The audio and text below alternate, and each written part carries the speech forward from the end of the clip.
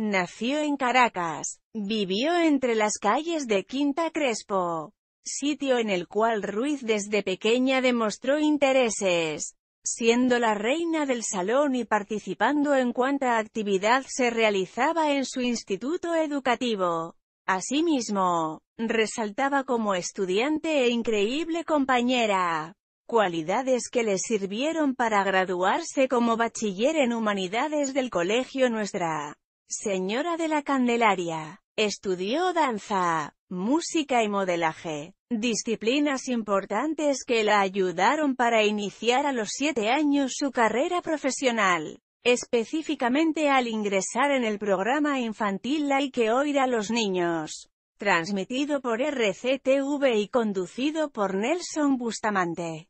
Ahí la animadora reafirmó su amor por y el goce que le causaba transitar por los pasillos del canal. Luego, a los 20 años representó a Venezuela en los concursos internacionales Miss Maja Internacional, Cartagena, Colombia, y Miss Hawaiian Tropic de 2006. Las Vegas, Nevada, consiguiendo el título en este último de segunda finalista.